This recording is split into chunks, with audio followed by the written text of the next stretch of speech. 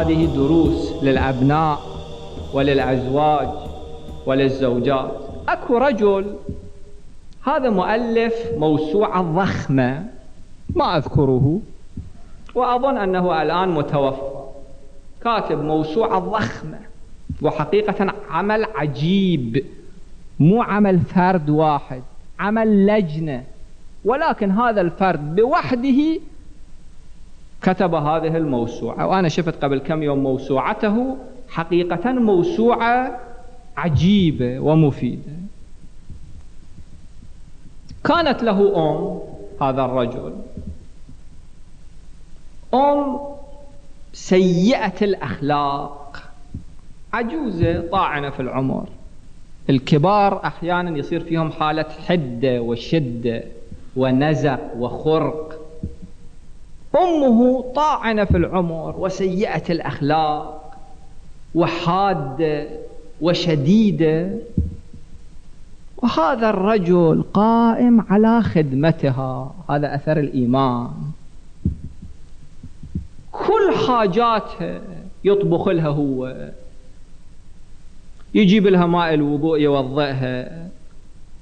ينفذ احتياجاتها والمرأة مقعدة أيضا. مرأة مقعدة خدمتها عمل شاق. بلغ الأربعين. فكر يتزوج ما يتزوج. شلون يجمع بين زوجته وبين مثل هذه الأم؟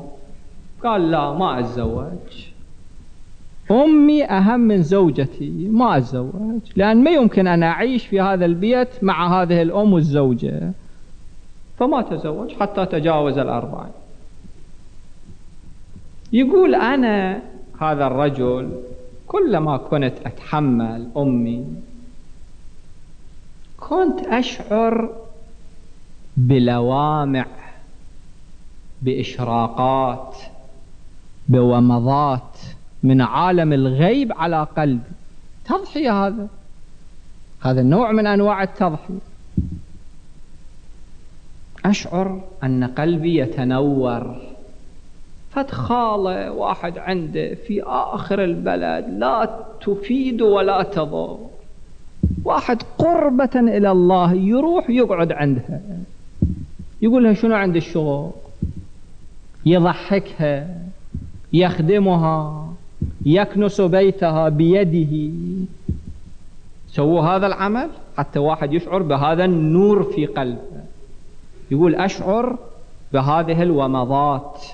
من عالم الغيب على قلب يقول في ليلة من الليالي الباردة كنت نايم أنام في غرفتها قريب منها ومخلي جرة هاي القضية يمكن مال قبل أربعين سنة خمسين سنة مخلي جرة حتى بمجرد إذا قامت في وسط الليل وطلبت الماء بسرعة أعطيها ماء. يقول قامت وطلبت الماء. يقول أنا بسرعة قمت وأخذت ماء الجرة وخليته في إناء وأعطيتها يمكن مثلا القضية طالت نصف دقيقة ربع دقيقة لكن واحد إذا صار كبير بعد ما عنده أعصاب ما عنده تحمل يصير عجول كثير يعني مو كلهم. فلازم واحد يتحملهم. يقول هي غضبت وسبتني سبا مقذعا وأخذت الماء وتشبت على رأسي. تصوروا نفسكم في هذه الحالة؟ يقول أنا فورا أخذت الإناء أو إناء ثاني رحت ملأته ماء وقلت له آه يا أمه أنا أعتذر منك على التأخر خذي هذا الماء. يقول في تلك اللحظة ذلك الوميض الذي كنت أشعر به تحول إلى نور يغمر قلبي.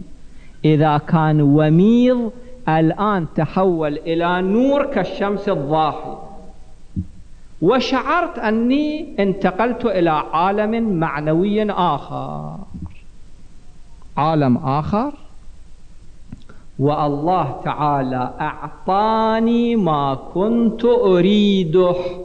وهذه الموسوعة التي ألفتها من آثار تلك المدارات لأمي.